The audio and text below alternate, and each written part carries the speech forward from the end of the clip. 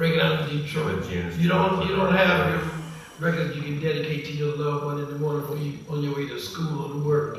There's no radio like that. It's all oldies of this kind of music or that kind of music. I don't even know where the new records getting played at. Because of TV. Yeah, YouTube is probably the freshest thing, you, you know, you know, internet. So um, I'm gonna be down with that if that's what it takes. We gonna find a way to be heard. Sure. You know, and we are best ambassadors. I said we go out on the road all the time. So we're gonna be performing this music.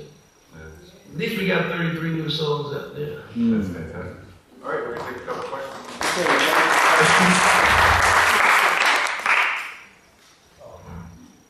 George, thank you so much. We can never thank you enough.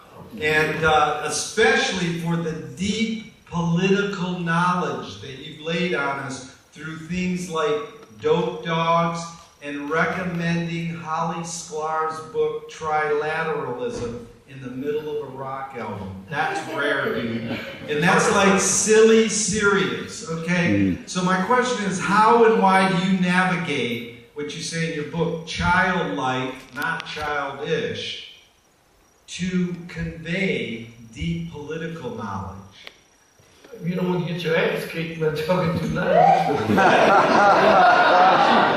or if you don't want to be on that little black book that you know that uh, they have when they investigate you and you start talking out loud. And plus, I don't know nothing for sure. I can only say things that what if this is the way it is? What if it's that way? Could it possibly be this way?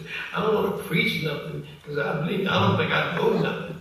I'm just there's, there's some other choices to the things out there.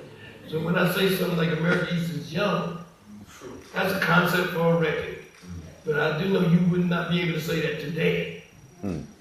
You know, that's something you could say back then because everybody was protesting the Vietnam War. When that was over with, everything about it was over.